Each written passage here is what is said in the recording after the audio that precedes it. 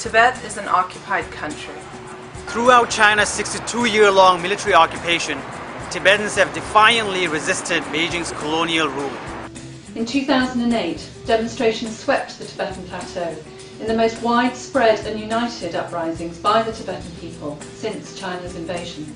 Despite arrests, torture, disappearances and killings, Tibetans across Tibet have continued to stand up and reject China's rule with fearlessness and daring through cultural resistance, non-cooperation and protest. Today, that resistance has taken an unprecedented turn. More than 20 Tibetan monks, nuns and lay people have set themselves on fire to demand freedom for Tibet and the return of the Dalai Lama. It is China's failed policies, human rights abuses and continued crackdown in Tibet that have provoked this wave of self-immolation. At least 15 Tibetans have died through this intensely political act of self-immolation. Displaying courage and integrity in their final acts of devotion and defiance, these Tibetans are both calling the world's attention to the tremendous suffering of the Tibetan people under Beijing's rule and demonstrating they will not be controlled by China. Lama Sobha, a respected religious and community leader, appealed for Tibetan unity before he self-immolated, saying, Unite and work together to build a strong and prosperous Tibetan nation. In recent months, Tibetans in increasingly large numbers have taken to the streets to protest Chinese rule.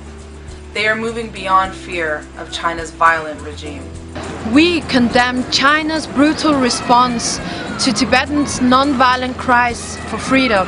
The international community must stand together in support of Tibet.